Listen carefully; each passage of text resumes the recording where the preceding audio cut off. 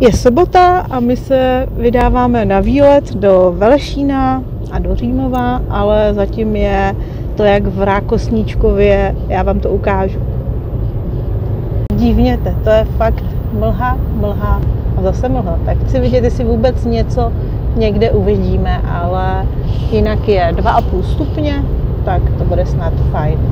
Je pravý velešínský pes. Že jo pse, ahoj. Přivítal nás u auta a vypadalo to, že půjde s náma, ale asi zůstane tady u parkoviště. A my jdeme na hrad. Konec si to rozmyslel a možná jde s náma. Tak další pes nás tady vítá. A já musím opravit informace.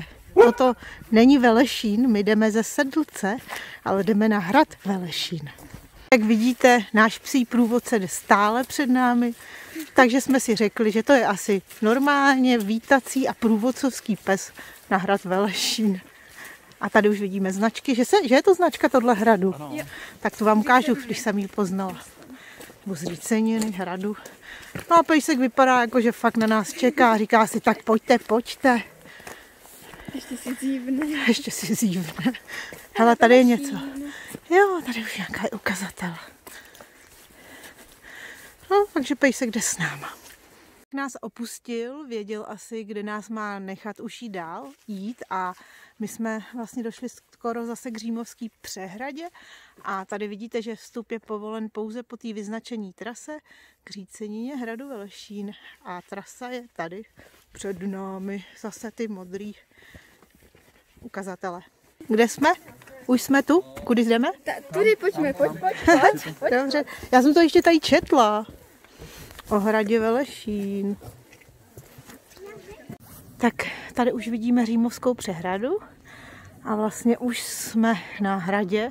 Je to zřícení, na to jsem možná na začátku zapomněla zříct. Takže jsou to hlavně takový kusy pozůstalý toho bývalého hradu.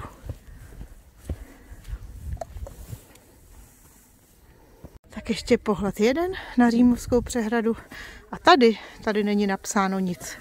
Hledat, co tu kdo někdo vykutal. A my si jdeme dát čaj a perničky. Hrad je celkem rozsáhlý, může toho tady různě prolejzat a nalízat tady další a další zákoutečky. A teď jestli červený. Počkejte, a kde že jsou nějaký sleziníky? Tyhle ty kapraní. Ne, jsou dva druhy, slezíní červený, zelený a liší se podle toho, tom, jakoby,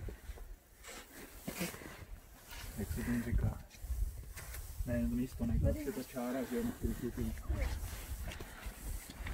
Pokud jste do dneška žili s doměním, že všechno jsou to mechy, tak prosím vás, tohle není mech, to je lišejník.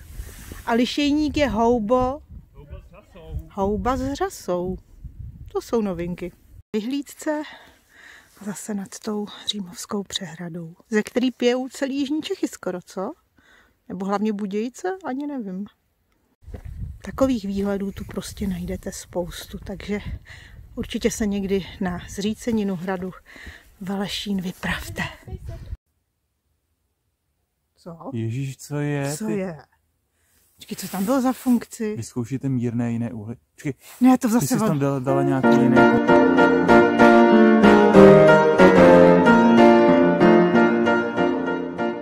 Vidíte, že i když se počasí zdá, že není na výlet, vždycky se nějaké místo najde, kde si můžete trošku vyvětat hlavu. A já koukám, že celou dobu mám nasazenou čelenku obráceně. Hm, no nic.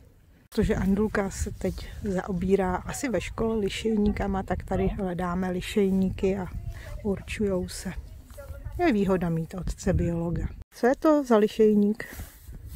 Takové, To si myslím, že ten no, já větvičník. si také myslím, vidíš. Ať podle čeho to určuješ? No, kdyby byl z druhé strany hodně tmavý, tak to je ten druhý, takhle větvený a jinak Větvičník teda, jo. větvičník slívový. A zdá se ti to stříbrný? Já jsem včera to říkala, že jsou stříbrný. No, trošku jo, no. Větvičník. A my už jsme zase zpátky u hospody u rybníka, kde parkujeme. A byl to moc hezká procházka. Podle cedule to byl jenom jeden kilometr. Tak uvidíme, co mi ukazuje mobil, kolik jsme toho našli. To si co? Protože jsme v Krumlově potřebovali zpracovat hrozně moc mrkve. Tady už ji Anička skvěle zpracovává. tak jsem se rozhodla udělat mrkový perklet. Je to jeden z mých nejoblíbenějších receptů na stránkách. Je to z kuchařky podle paní Mačingové a je fakt skvělý. Tak já vám pak ještě řeknu, co se, jak se dělá. Ale určitě, pokud máte hodně mrkve, doporučuji 100%. Mě mrkve budete potřebovat taky cibuli a protože my tí mrkve máme hodně, tak tý cibule je celkem taky dost.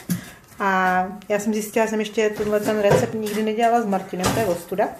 Takže bude update a to, že tu cibuli skaramelizujeme. Se karamelizuje cibule, to vám dám tady do odkaz, jak se karamelizuje cibule, dám vám odkaz tady nahoru do rožku. Dál budeme potřebovat kromě té mrkve, sojovku, Martin se do toho mlátí římský kmín, který umelu před celý. A pak, co je důležitý, a fakt tomu dává hrozně dobrou chuť, je rozmarín. Já jsem ho ještě natrhala na balkóně, on vydrží celou zimu, tak ho jdu na jemňonku nasekat, bez toho stonku.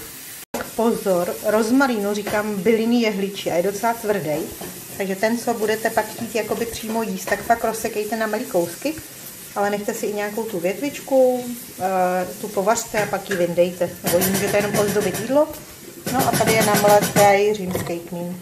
A cibulka už se dokamer... to je hrozný slovo. Dokaramelizovává. No a pojde tam mrkev, chvilku se orestuje, opepří, se to podleje tady sojovkou, přidá se to koření a malinko vody, ale fakt jenom malinko, ta mrkev se nemá dusit, není to dušená mrkev, jo?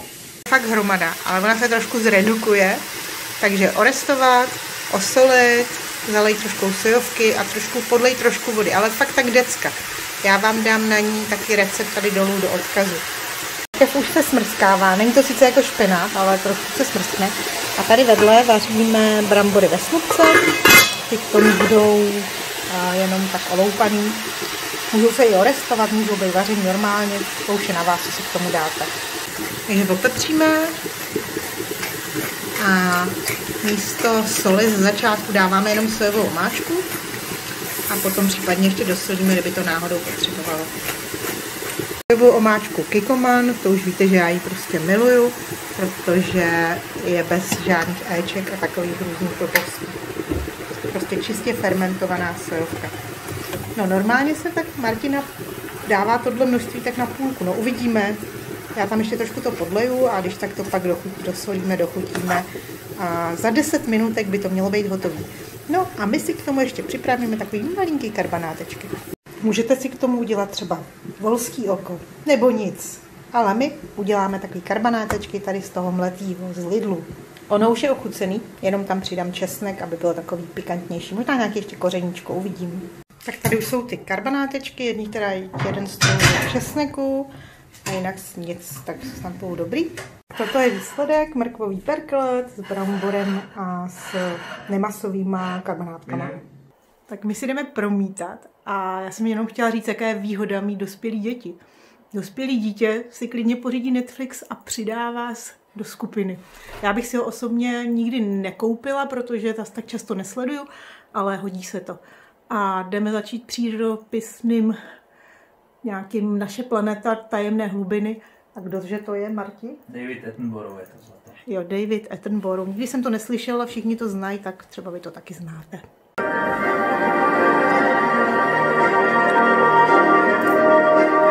This series will celebrate the natural wonders that remain and reveal what we must preserve